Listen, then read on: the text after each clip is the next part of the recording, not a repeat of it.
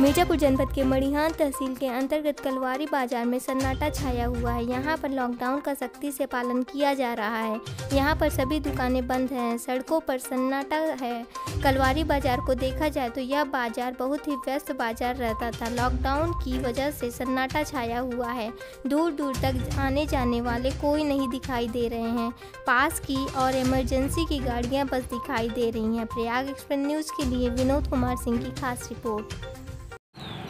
मैं Prayag express news से, थाना रिपोर्टर विनोद कुमार सिंह, इस टाइम मिर्ज़ापुर जनपद के कलवारी चौराहे पर खड़े हैं और इस समय लॉकडाउन की वजह से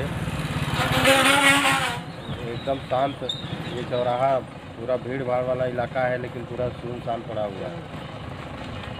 और एक दो गाड़ियाँ जो पास जिसका बना हुआ है इमरजेंसी में, वही चल रही हैं और सारे लोग एकदम अपने घरों में कैद कोई भी बाहर नहीं रहा है और लॉकडाउन का पूरा ईमानदारी से पालन किया जा रहा है।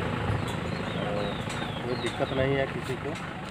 सारे लोगों को सुबह शाम खाने पीने की चीज़ मुहैया कराई जा रही है।